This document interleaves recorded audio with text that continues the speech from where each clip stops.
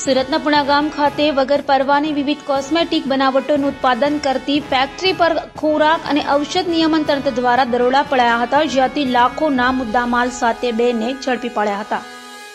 ખોરાક અને ઔષધ નિયમન તંત્રના કમિશનર ડોક્ટર એચ જી કોસિયાએ જણાવ્યું હતું કે રાજ્યના નાગરિકોને જીવન જરૂરી દવાઓ તથા કોસ્મેટિક સામાન શુદ્ધ ગુણવત્તાયુક્ત મળી રહે તે માટે રાજ્ય સરકાર દ્વારા સતત મોનિટરિંગ કરવામાં આવ્યું છે, જેના ભાગરૂપે સુરતના પણાગામ ખાતે વગર પરવાની વિવિધ કોસ્મેટિક બનાવટોનું ઉત્પાદન કરતી ફેક્ટરી પકડી પાડીને તંત્ર દ્વારા શંકાસ્પદ કોસ્મેટિક બનાવટના કુલ નવ નમૂના લઈ ચકાસણી માટે મોકલી અપાયા છે.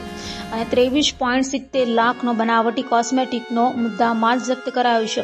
તો સ્થળ પરથી કોસ્મેટિક બનાવટી ઉત્પાદન કરતા હિંમતભાઈ, વિઠ્ઠલભાઈ વડાલિયા અને નક- નિકુલભાઈ ભીમજીભાઈ રૂખીને ઝડપી પાડવામાં આવ્યા હતા. સુરત ભરૂચ અને વલસાડ તંત્રના અન્ય અધિકારીઓ દ્વારા ફેક્ટરીમાં દરોડા પાડ્યા હતા.